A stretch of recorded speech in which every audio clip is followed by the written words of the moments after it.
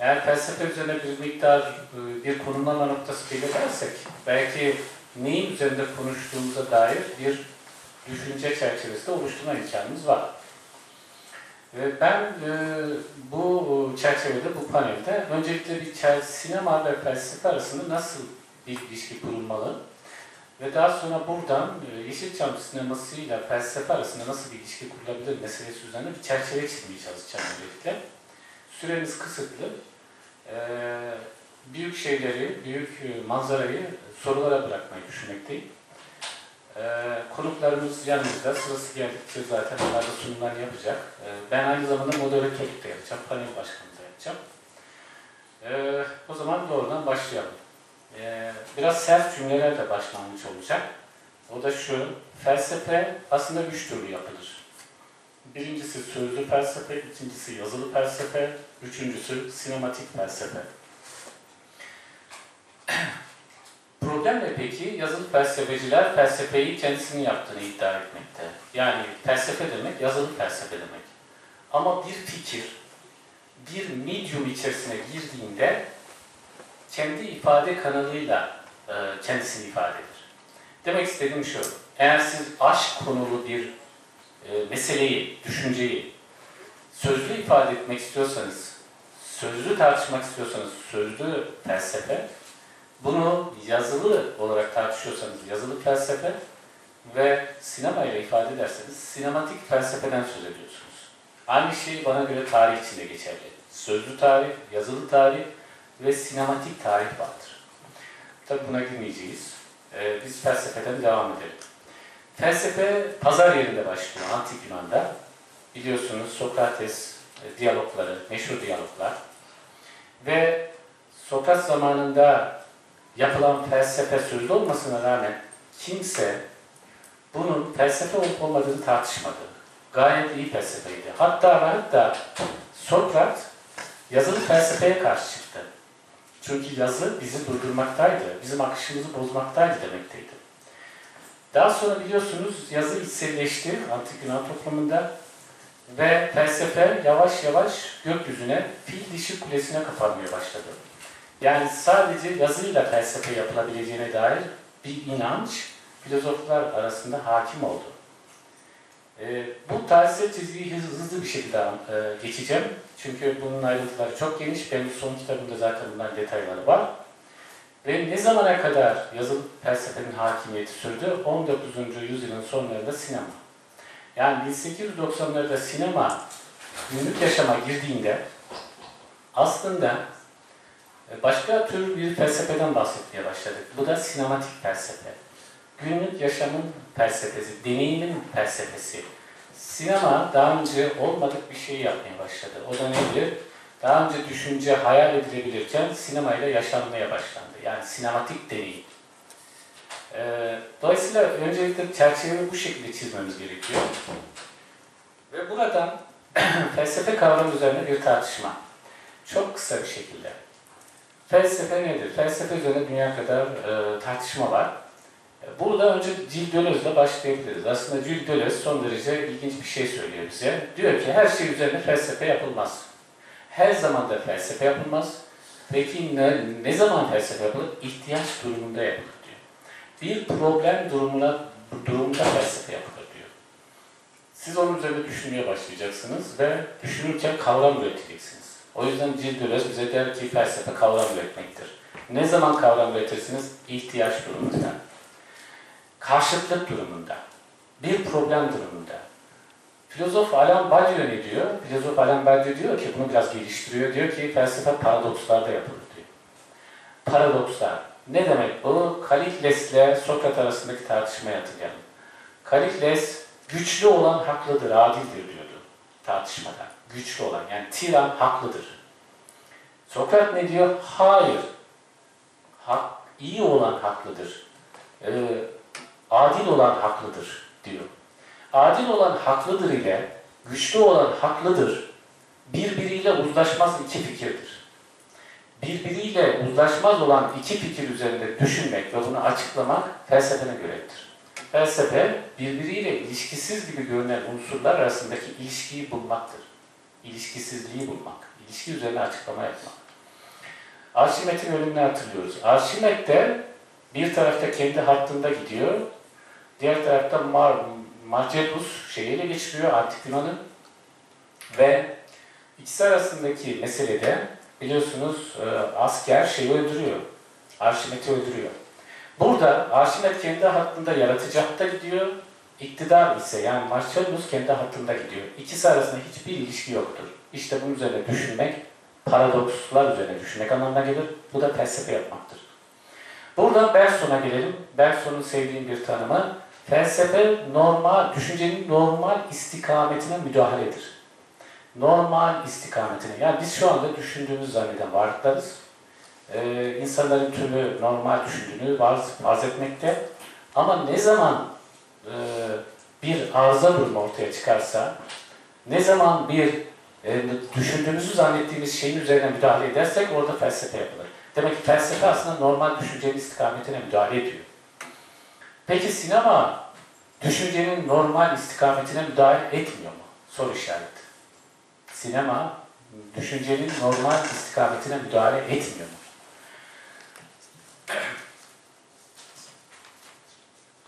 Şimdi buradan buradan sinema felsefesindeki yaklaşımlara geleceğiz. Ne üzerinde konuştuğumuza dair. Ee, bazı fikirler edinmek için. Sinema felsefesinde aslında dört tane temel yaklaşım var. Eğer biz Yeşilçam sineması mevzusunu tartışmak istiyorsak dört yaklaşımı analiz etmemiz lazım. Birincisi filozoflar hakkında filmler. Yani siz örneğin en son yapılan filmlerden birisi Genç Karl Marx biliyorsunuz. Ee, gençliğini anlatıyor. Karl Marx gibi bir düşünürün gençliğini. Bu film örneğin e, filozoflar hakkında bir filmdir. Dolayısıyla aslında sinema felsefesi yaklaşımlardan birisine giriyor. Ya da Wittgenstein belgesellerini hatırlayın, şey, e, filmini hatırlayın. Belgeseller vardır Heidegger üzerine. Peki Yeşilçam sinemasında filozoflar hakkında filmler var mıdır? Ben bilmiyorum. Demek ki bu yaklaşım Yeşilçam sineması açısından pek geçerli bir şey değil sinema felsefesinde. İkincisi, ikincisi sinema felsefesinde ikinci yaklaşım, felsefi önerilerin somutlaşması olarak filmler. Felsefi öneri. Ne demek? Yazılı felsefede tartışılan meseleler. Bu ne demek? Nihilizm, varoluşçuluk, gerçeklik. Acaba biz görüngüler dünyasında mı yaşıyoruz? Bakın bazı meseleler var. Ama biraz daha yeryüzüne inelim, aşağı inelim. Aşk. Kimse aşk üzerine felsefe olduğunu pek düşünmüyor. Ama aşk felsefesi üzerine dünya kadar tartışma var. Arkadaşlık, arkadaşlık üzerine dünya kadar felsefi yazılı tartışmalar var. Dolayısıyla bunu şu, şu şekilde düşünmeliyiz. Yazılı felsefede tartışılan bir meseleyi, örneğin Zeki Demirkubuz varoluşçuluk meselesini filmine yansıtıyorsa e, bu yansımayı bulmaya çalışıyorsunuz. Felsefi önerilerin somutlaşması olarak filmler. Acaba Yeşilçam sinemasında bunun örnekleri fazla mıdır? Soru işareti. E, peki olmaz ise filmler felsefe yapmıyor mu? Soru işareti. İşte sorular soruyorum size. E, peki acaba bir film yönetmeni yazılı felsefedeki gibi düşünmek zorunda mı? Asıl soru bu. Yani siz bol bol felsefe okuyorsunuz, sonra diyorsunuz ki ben bunun filmini çekeceğim. Bunu yapmak zorunda mı? Ben Döloz'e katılıyorum. Döloz şunu söylüyor bize. Sinema yönetmenleri imajlarla düşünür, imajlarla düşünür. Felsefeci, yazılı felsefeci kavramlarla düşünür. İkisinin düşünme şekli farklıdır. Dolayısıyla sinema yönetmeninin yazılı felsefeyi bilmesine gerek yoktur. O filmi ürettiği andan itibaren imajlara biz sorular sorarız. Yani Jim Jarmusch'un meşhur sorusu, e, konuşmasındaki meşhur ifadesi kendisine soruluyor. Burada ne demek istediniz? Burada ne demek istediniz? Genellikle biliyorsunuz bizim seyircilerimiz de yapar. E, yönetmen de filmini açıklar. Açıklamak zorunda kalır. Hayır, onun yanıtı imajlardadır. Film üretildiği andan itibaren yönetmenden çıkar ve kendi başına bir entite haline gelir. Bir kimlik, kendi başına birey haline gelir. Dolayısıyla biz filmin içerisinde meseleyi aramak zorundayız, imajların içerisinde. Ve dört, e, üçüncü yaklaşıma geliyoruz e, sinema felsefesinde. Buna da film filosofi diyoruz, film felsefesi. Ne demek bu? İmajların ontolojisi, imajların epistemolojisi ve en önemlisi sinematik deneyim. Örneğin dün bazı sözlü tarih sunumları oldu. Orada seyircilerin sinema deneyimleri film filosofiye giriyor. Yani sinematik deneyim. Karanlık bir e, salonda film seyretmek ne demektir? Açık hava sinemalarındaki açık hava sinemalarında insanların film seyretme deneyimi nasıldır? Bunun üzerine bir tartışma yaptığınızda aslında film filosofiye giriyorsunuz. Film felsefesi. Dördüncüsü ve en nihayeti filmlerin kendisinin felsefe yaptığını söylüyor. Filmler başka hiçbir şeye ihtiyaç duymadan felsefe yapar. Nasıl yapar? Kendi araçlarıyla yapar. Nedir araçları? Montaj. Nedir araçları? Kamera hareketi, kamera açısı. Asıl olarak bu üçü. Peki diğer bileşenler yok mu? Var. Nedir? Renk, ışık, e, müzik, ses, bütün bunların hepsi de var. Ama Döloz'a katılıyorum. Dölöz diyor ki bunlar sinemanın asli unsurları değil. Bunlar resimde de var. Diğer sanatlarda da var. Bunlar sadece yan unsurlar. Sinema bir kompozisyondur. Alain Badiou'nun Badiou dediği gibi. Kompozisyonu oluşturan unsurlar var ve bu kompozisyonla siz sinemayı üretiyorsunuz. Demek ki sinema bir kendi başına felsefe üretebiliyor. Peki bu nasıl oluyor? Bir örnek verelim. Bir Yeşilçam filminden örnek verelim. Bu dördüncü yaklaşımla ilgili. Ben kitabımda da benim söylemiştim bunu. Al yaz, Semih Boylum al yazma. Yani Atıf Yılmaz. Nedense bu tartışmalarda Atıf Yılmaz üzerine hiç konuşulmuyor. Semih Boylum al yazmalım. Son sahneyi hatırlayalım. Son sahne. Yani Asya'nın seçim yaptığı an. Asya biliyorsunuz romantik bir aşk içerisindeydi. Önce şoför İlyas'a aşıktı.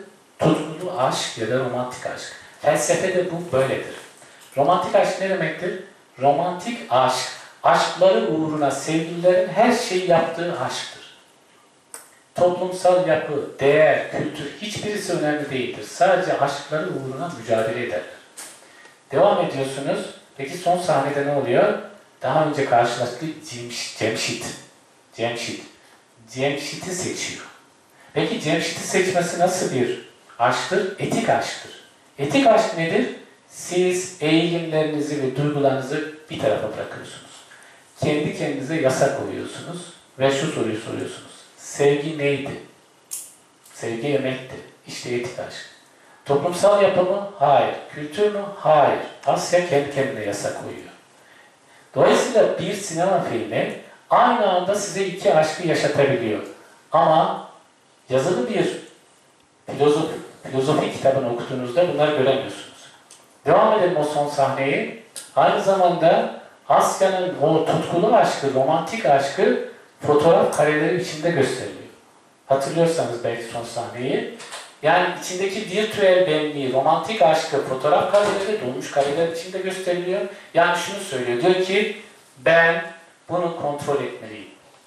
Kontrol etmezse beni aşacak ve taşacak. Dikkat ederseniz Kadir İnanır yani şeyi oynayan İlyas da aynı şekilde ve böylece e, film bitiyor.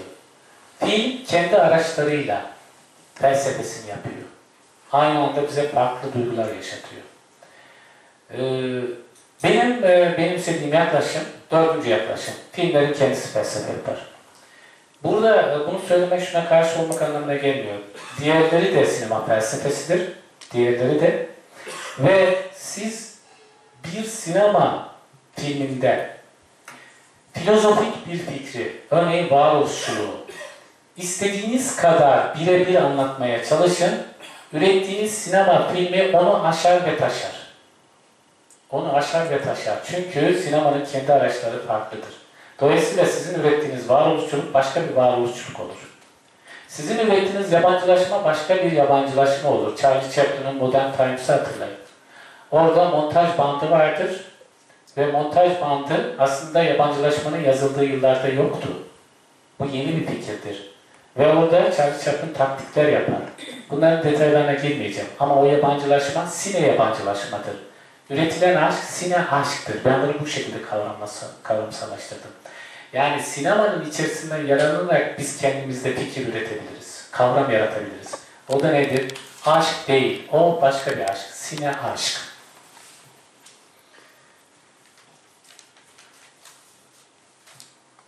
Şimdi bazı şeyleri kısıyorum, epey kısıyorum çünkü zamanımız sınırlı.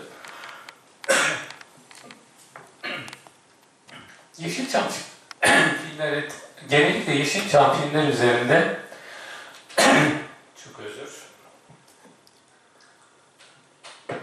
yapılan tartışmalarda şu söylenir, mutlu sonla biter.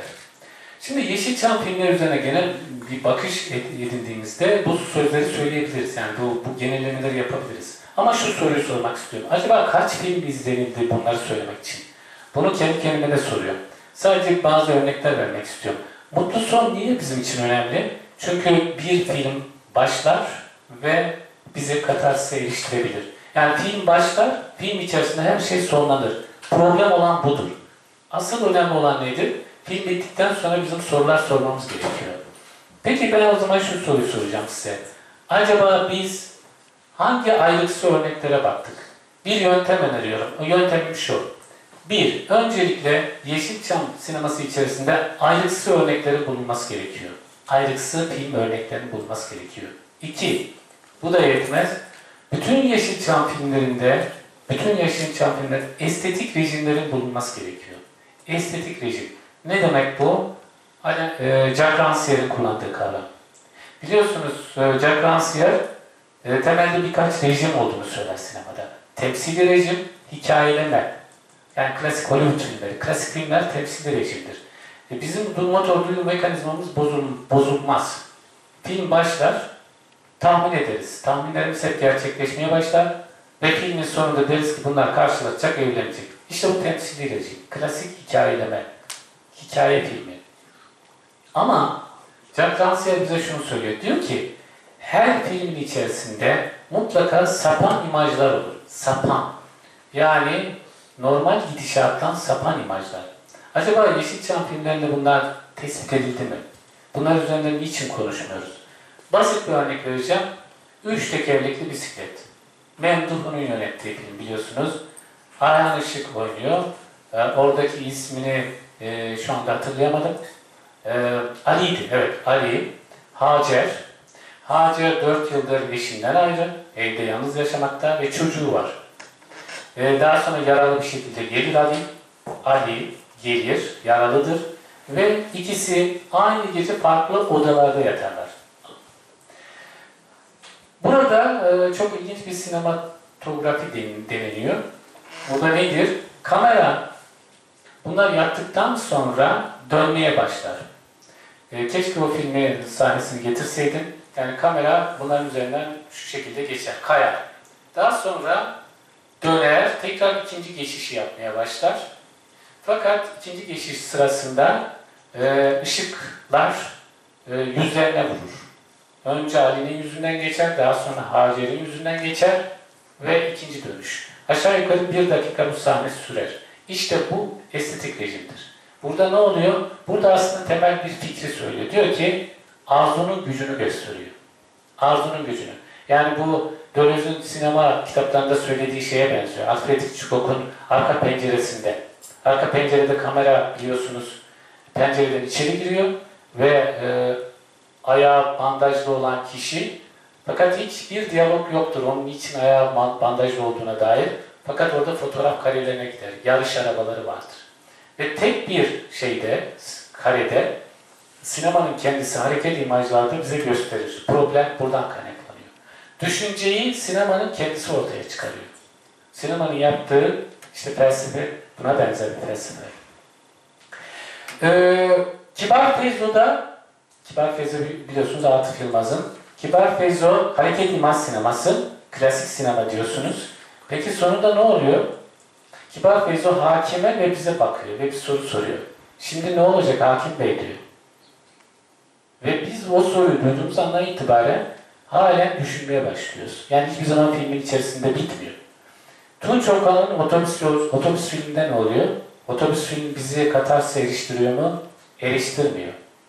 Devam edelim. E, Duygu Sağaroğlu'nun e, Aslan Kardeşim diye Kuduz Recep, Yılmaz Güney oynuyor. Kuvayi Milliye dönemiyle ilgili film. Yani bu tür filmler pek görülmüyor. Aslan kardeşinin sonunda elinde makineli tüfeği alıyor. Karşısında pek çok kişi var. e, sadece makinalı tüfeğin karşısında duruyor. Yani onda o başaramayacak. Ve film bu şekilde bitiyor. En klasik filmlerden örnekler veriyorum. Dolayısıyla bu mutlu sonlarında bir şekilde e, incelenmesi gerekiyor. Acaba hangi filmler, kaç film katarsis eriştiriyor? İşte bir soru işareti, incelenmesi gereken e, sorulardan birisi. Demek ki estetik rejim, üçüncü rejim söylemeyeceğim. O da etik rejim, yani onun ayrıntılarına gelmeyeceğim. E, çünkü bunlar detaylı konular. Buradan, buradan belki e, bir örnekle e, konuşmamı e, sonlandırabilirim ve niçin pazar yerinin e, sineması olduğunu Yeşilçam'ı söyleyebilirim. Şimdi e, Vesikalı Yarın biliyorsunuz. Yani hepimizin, e, çoğumuzun izlediği filmlerden birisi. Şimdi Vesikalı Yarın, yarın üzerine yapılan analizler genellikle belli bir hat üzerinde gider. Şimdi peki acaba Vesikalı Yarın bize felsefi olarak e, hatırlattığı şeyler neler vardır? Bunun üzerine hiç düşündük mü? Şimdi yine aşk felsefesinden gidebilirsiniz. E, başka şeyler, içeri felsefesinden de gidebilirsiniz. De, e, şöyle, şöyle anlatayım demek istediğimi. Dikkat ederseniz vesikalı yarinde yargılama yoktur. Ne Halil'in babası, ne Halil'in annesi, ne de başkaları yargılama yapmaz. Şu sahneyi hatırlayın. Ee, manavda Halil'in babası ve Sabiha gelir, yaklaşır. Ee, elma ister. Ee, Halil'in babası eğilir, elmayı doldururken şunu sorar. Halil nasıl? Halil nasıl? Dolayısıyla bu klasik filmlerdeki beklentileri kıran bir imajdır. Yani şunu demek istiyor. Ben seni tanıyorum, senin farkındayım. Halil benim oğlum. Halil'in iki çocuğu var. E, yaptığınızdan haberdarım. Dolayısıyla çok, çok incelikli bir şey. Yargılama yok. Keza aynı şekilde Halil'de de aynısı var. E, yargılama. Halil'in eşi de Halil'i yargılamıyor. Şimdi bu yargılama bizim için niye önemli? Çünkü Nietzsche felsefesinde yaşamı yargılayanları yargılamak vardır sadece. Onun dışında başka bir şey yoktur. Yüce değerler adına, aşkın değerler adına yaşamın yargılanması, yaşamdaki karakterlerin yargılanması problemdir. Aynı filmde dikkat edelim, Halil geleneksel bir evlilik yapmıştır. Aşık değildir. Bunu filmdeki imajlardan anlıyorsunuz. Peki Halil'in yaptığı evlilik hangi aşktır? Hiçbir aşk değildir. Etik aşk da değildir, romantik aşk da değildir, hiçbir aşk. Aşk değildir o. Kurumsal bir evliliktir. Peki film ilerledikçe ne görüyorsunuz? E, gazinoda e, Sabiha'ya vurulması. O sahne çok ilginç. E, Halil Sabiha'yı gördükten sonra müzik kesilir. Gazinodaki müzik sesi. Yani öznel kamera orada devreye giriyor.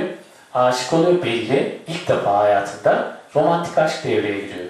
Peki film ilerledikçe ne görüyorsunuz? Halil sonlara doğru geldikçe ikinci aşk ortaya çıkıyor. O da nedir? Etik aşk. Yani Halil aslında bir karar alıyor. Kendi kendine yasa koyuyor. Evine dönmek zorunda değildi. İşte bu sinemanın ürettiği fikirdir. Sinemanın kendisi felsefe yapıyor orada. Son olarak şunu vurgulayacağım. Evlilik filmlerine bakalım. Yani bunlar dram filmleri de oluyor, komediler de oluyor. Neşeli günleri biliyorsunuz. Bizim aileyi biliyorsunuz. Yani başka evlilik filmleri de vardır. Mesela hiç konuşulmamış, pek konuşulmamış. Kırık Çanaklar da vardır. Bunlar hep evlilik filmleri. Evlilik filmleri üzerine Stanley Cavell mükemmel bir kitap yazmıştır. Stanley Cavell'ın kitabı Metis'te de çıktı. Ee, Stanley Cavell şunu söylüyor. Günlük yaşamdadır felsefe ve dolayısıyla siz evlilik komedilerine bakarak ilginç şeyler bulabilirsiniz. Evlilik ilk başladığında aslında kurallara göre yürüyor. Yani kendiniz çok fazla fail değilsiniz. Kendiniz çok fazla düşünmüyorsunuz. Düşünmüyorsunuz. Çünkü felsefe biraz düşünmekle ilgili mesele. Sonra ne oluyor? Evlilik başlıyor. Problemler artıyor. Problemler. Ve sonra düşünmeye başlıyorsunuz. Evlenelim mi? Yani evlilik sürsün mü? Ayrılalım mı? Daha sonra ayrılmaya ayrılıyorsunuz. Ayrıldıktan sonra ikinci evliliği yapacaksınız. İkinci evliliği yapacağı, yapmaya, yap, yap, yaparken artık toplumsal kodlara göre pek hareket etmiyorsunuz. Birey olarak kendinizi ortaya koyuyorsunuz. Yani düşünceye baskı yapıyorsunuz. Düşünün başlıyor. İkinci evlilikler her zaman toplumsal kurallardan bir parça sapan ev, evliliklerdir. Dolayısıyla bu evlilik komedilerinde bunu görüyorsunuz. Peki Türkiye'de üretilen Yeşilçam'da üretilen evlilik filmlerine baktığınızda ne görüyorsunuz? Neşeli günlerden örnek verelim. Neydi problem? İki tane yaşlı, orta yaşlı insan diyelim. Münir Özkul'la Adile Naşit. Turşu meselesi üzerinden kavga ediyor. Turşu. Yani basit bir kavga diyorsunuz. Ve sonra ne oluyor? Ayrılıyorlar. Ayrıldıktan sonra çocukları yanlarına alıyorlar ve çocuklar düşünmeye başlıyor. Acaba biz bunları bir araya nasıl getirebiliriz? Ve onların mücadeleleri sonucunda onlar da düşünmeye başlıyor. Bir araya gelelim mi, gelmeyelim mi? Ne demiştim ben? Felsefe paradokslarda yapılır. Bir araya gelelim mi, gelmeyelim mi? Bir seçim anıdır bu. Seçim anlarında düşünce başlar. Daha sonra dikkat ederseniz eğleniyorlar tekrar. Evlendikten sonra da bir muziplik yapıyorlar. Küçük bir mesele yüzünden yine kavgaya tutuşur gibi oluyorlar. Çocuklar da diyor ki ne oldu yine? Onlar da bakıyorlar. Biz enayi miyiz? Halbuki aynı enayi daha önce yapmışlardı. Şimdi niye enayilik yapmıyorlar? Çünkü yeni bir düşünce evresine girdiler. Özetle, Yeşilçam filmlerinin bize hatırlattığı birkaç şey var. Öncelikle sinema kitle sanatı. Yani biz bunu unutuyoruz. Sinema kitle. Ne demek kitle sanatı?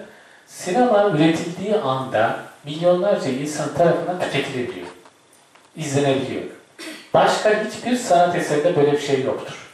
Siz diyebilirsiniz ki hocam e, ya da meslektaşım e, müzeler var. Müzelere de binler, milyonlarca insan gitmiyor mu? Ama müzeler ya da diğerleri daha önce yaratılmış şeyler. Biz aynı anda yani günümüzde üretilen bir filmden söz ediyoruz. E, hit filmlerden bahsediyoruz. Bunlar milyonlarca insan tarafından tüketiliyor. Dolayısıyla pazar yerinin sanatıdır. Her şeyden önce sinema demokratik bir sanattır. Sinema, sinema aristokratik bir sanat değildir. Bunu, bunu ihmal etmememiz gerekiyor. Peki bu şu anlama mı geliyor? Günümüzde üretilen her filmi onaylamak anlamına mı geliyor? Hayır. Günümüzde sulu komedilerin yaygınlığını bilmekteyiz. Türk sinemasında. Ee, peki Hababam sınıfı ile arasında ne fark var? Hababam sınıfı da milyonlarca insan tarafından izlenmedi. Hababam sınıfı da komedi filmiydi. Ama nasıl bir komedi filmiydi? Ee, orada Mahmut Hoca ile öğrenciler arasında tercih yapmaya çalıştığımızda tercih yapamıyorduk. Mahmut Hoca da sinemanın ürettiği bir kavramsal kişilikti. Onu da seviyorduk. Çocuklar da seviyorduk. Hababam sınıfında küfür de yoktu. Küfürsüz ilginç bir komedi yapıldı. Ve milyonlarca insan halen izliyor. Peki günümüzdeki komedilerin farkı ne? Demek ki Yeşilçam'dan edineceğimiz birikim vardır. Yeşilçam'dan edineceğimiz birikim. Halkla duygusal bağlantıyı sağlama anlamında, pazar yerini, pazar yerini yeniden seslenme anlamında. Belki de bu Yeşilçam'dan edineceğimiz birikimle e, pazar yerinin nasıl bir pazar, farklı bir pazar yeri olabileceği üzerine de düşünebiliriz e, demekteyim. E, teşekkür ederim.